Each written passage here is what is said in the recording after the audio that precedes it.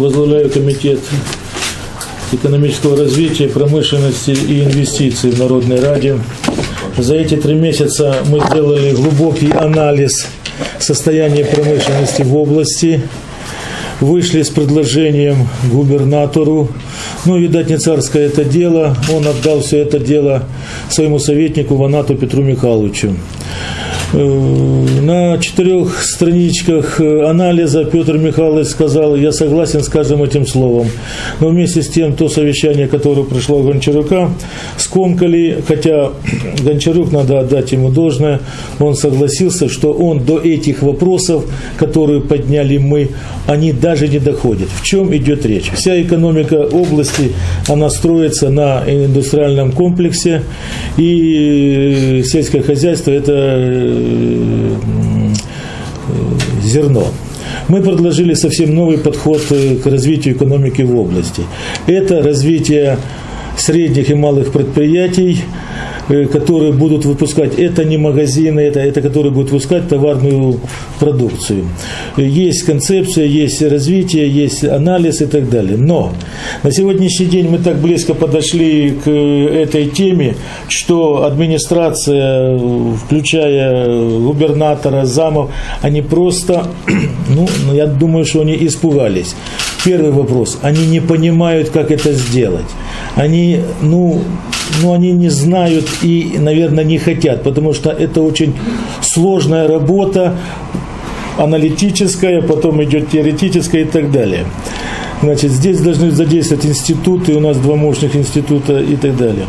Значит, они от этого отказались, и я думаю, что то, что сегодня происходит в народе ради, ради имеет отношение и этот вопрос.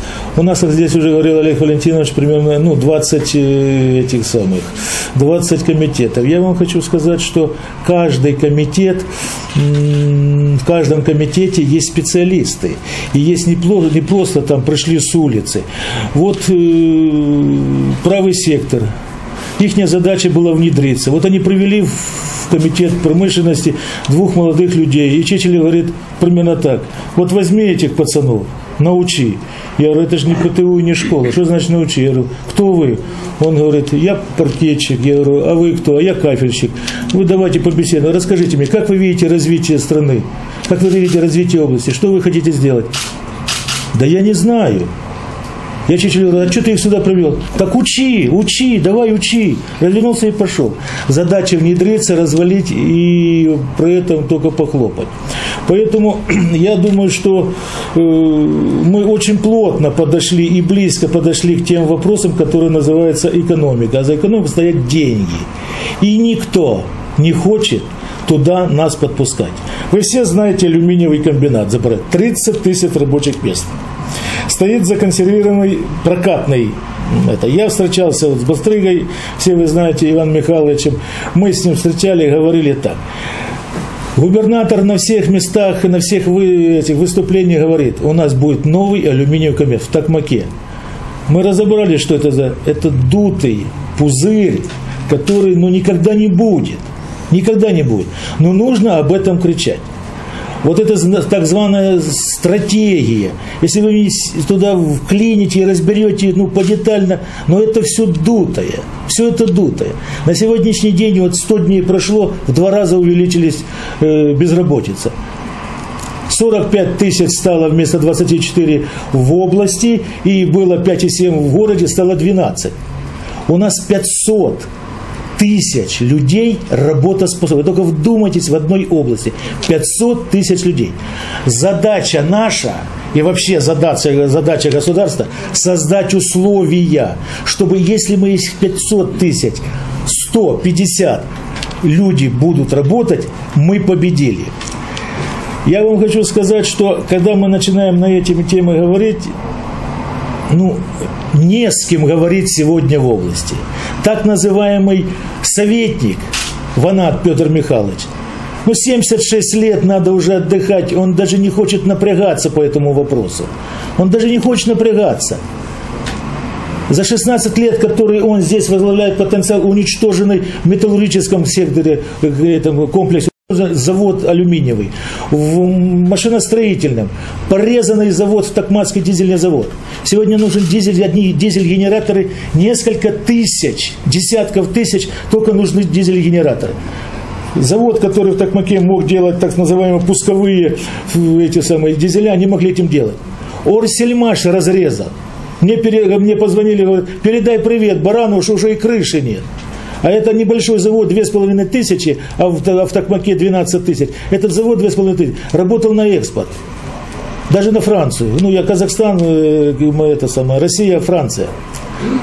Бердянске, Дормаш. Вот была выставка. Вот была выставка. Вы присутствовали на сессии на 100 дней. Выступал э, господин Шамилов. Сказал, что ему там эти самые поляки написали, что мы не можем приехать. А вы пойдите на выставку. На открытой площадке стоят все две машины, японец и кореец. Где?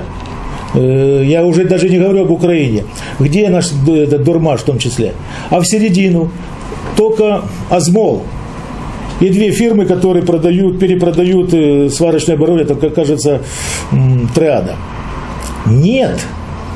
Вот работа этого потенциала, вот работа всей комиссии, то есть всей администрации, что касается рабочих места. Поэтому я думаю, то, что мы так близко подошли и задаем не просто неудобные вопросы, а мы, задаем, а мы ставим предложения, на которые администрация не может и не способна, и самое главное, не хочет даже отвечать. Поэтому для того, чтобы это все сломать, для того, чтобы это скомкать, превратить в говорильню, ну, пошла пятая колонна. Пошла пятая колонна.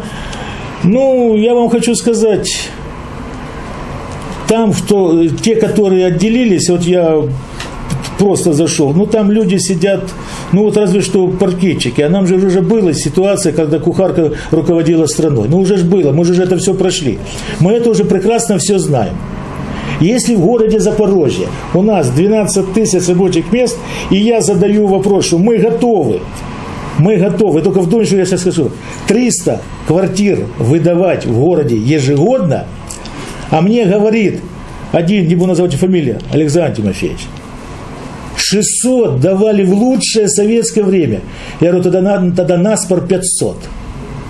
По, по, по, по деньгам до 15 тысяч. Мы это создадим. И когда я ему сказал источник, он говорит, о, так мы до этого даже не думали. Надо думать. Никто не хочет думать. И когда мы сегодня приходим, мы не уговариваем. Мы просто задаем такие вопросы, что Баранов, э, Гончарук, там Семичаевский, он вообще далек от этого, все, что называется производство, Ванат, они очень неловко себя чувствуют. И поэтому легче всего создать то, что сегодня создается.